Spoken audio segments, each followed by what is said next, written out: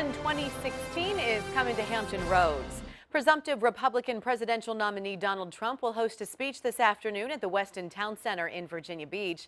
This is the candidate's third stop in Hampton Roads in the last few months.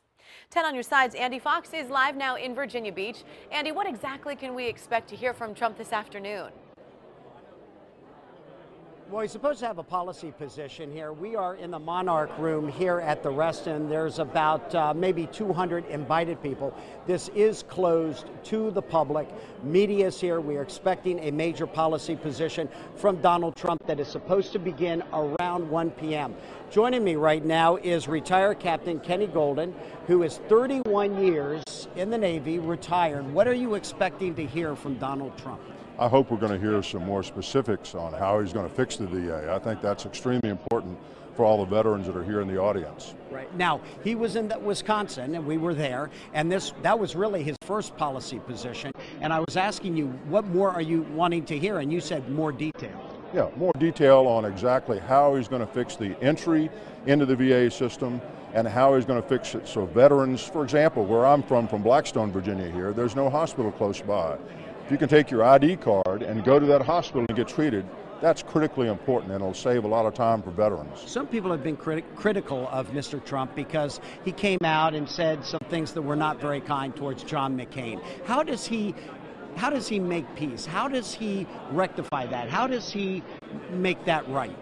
Well, the interesting thing about John McCain is he was my wife's commanding officer in uh, VA 174 in Jacksonville, Florida, the largest squadron in the Navy back in 1976. And, and he is a hero. And I think Mr. Trump needs to make some kind of statement to uh, to Senator Trump because I think it's important for Senator, all veterans. To Senator McCain. Yeah, to Senator, Senator McCain, McCain, yeah. Right. Now, also about Vice President. I mean, the convention begins next week.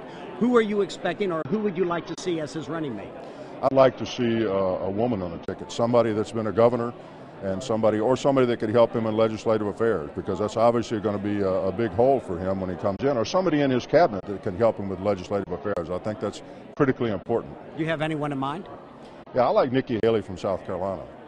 I don't know if she'll do it or not, but she's very, very good. And you think that would change the dynamic? I think it would. You know, you have somebody that's a real pro that's that's done the job of administering a, uh, a, a, state.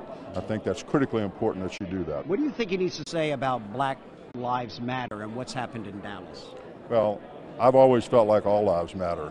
And I heard a guy this morning say, well, you know, my people got killed. Well, you know, when a black person gets killed, that's one of my people.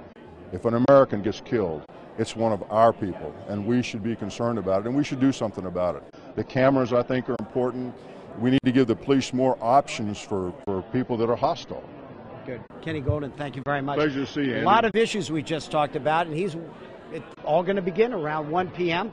Uh, we are expecting Donald Trump. Thank you very much, Kenny Golden. Uh, we will be here with uh, reports this afternoon about what happened here, what he had to say with Donald Trump on the campaign trail with Donald Trump. Andy Fox in Virginia Beach. Guys, now back to you.